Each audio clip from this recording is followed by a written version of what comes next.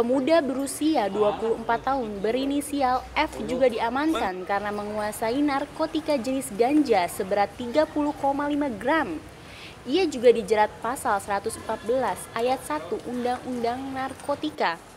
Sepekan kemudian, polisi menangkap RLP 32 tahun dan AIP 26 tahun dan YS 23 tahun karena menguasai narkotika jenis sabu seberat 0,6 gram.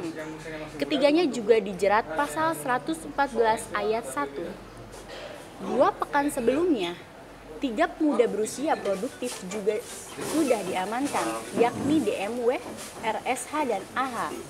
Ketiganya ditangkap karena menguasai sabu dan dijerat pasal 114 ayat 1.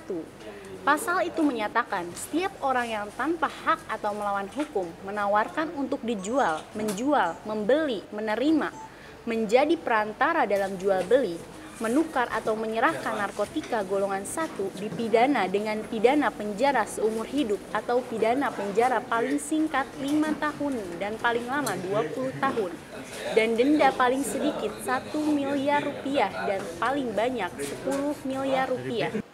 Peredaran sabu dan ganja di Purwakarta. Ini semua berkat bantuan masyarakat dan seluruh stakeholder yang ada di Purwakarta. Barang bukti dan Barang bukti terdiri dari sabu dan ganja. Penangkapan gimana?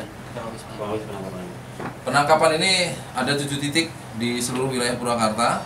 Jadi seluruhnya itu melalui proses yang cukup lama sehingga kemarin selama dari mulai Ramadan sampai dengan sekarang tim lidik kita memaksimalkan dan hasil tangkapannya kita maksimalkan pas seminggu kemarin.